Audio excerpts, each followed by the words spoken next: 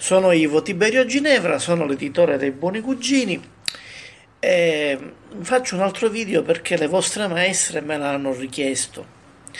Ma questa volta mi hanno detto, senti, fai un video particolare perché i nostri alunni sono abbastanza irrequieti, quindi per favore fai un video dove si spieghi bene come venivano trattati i bambini monelli all'epoca eh, del 1800, 1700, diciamo tra 1700 e 1800.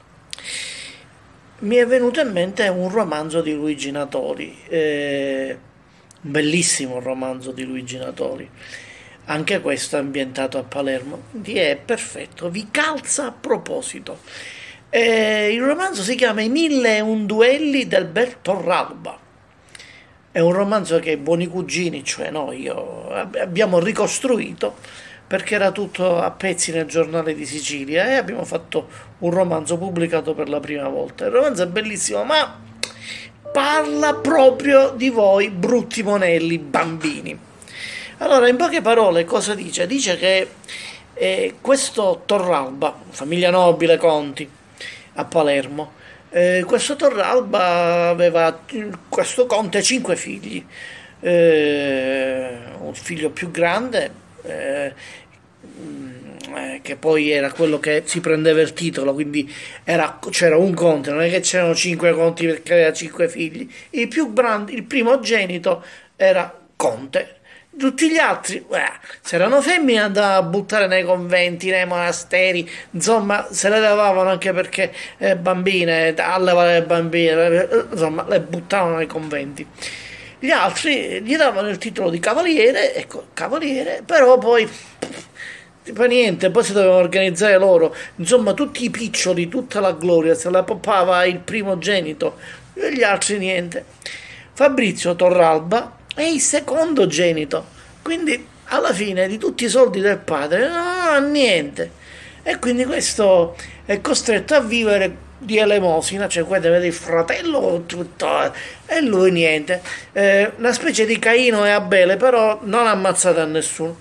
Eh, anzi, lasciamo perdere, levate la Bibbia, ecco, era proprio cattivo. No, non c'entra niente. Come, levate tutto. Diciamo che era un po' invidioso del fatto che il fratello avesse tutti i piccioli, avesse il titolo e lui niente, si doveva arrangiare così a vivere.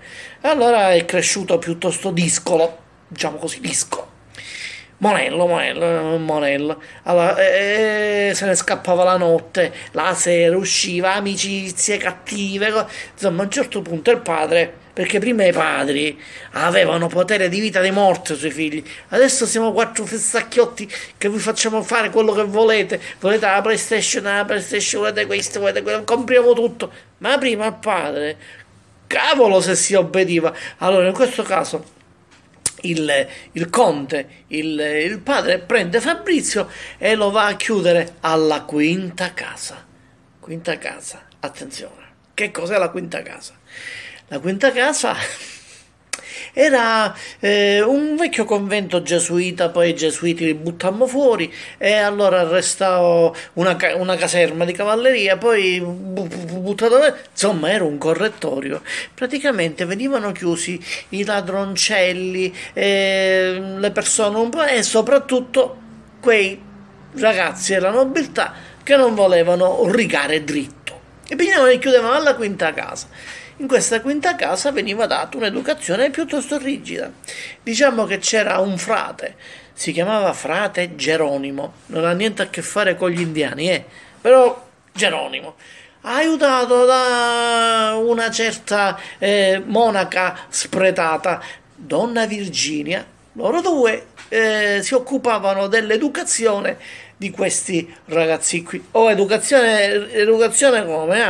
Eh? Educazione che eh, potevano, anzi dovevano dare da 20 a 40 nerbate settimanali nel culetto a tutti questi nobilotti che non rigavano dritto. Quindi era un'educazione proprio così. Addirittura poi Fabrizio Torralba ne prese così tante, ma così tante che, che non si poteva più sedere.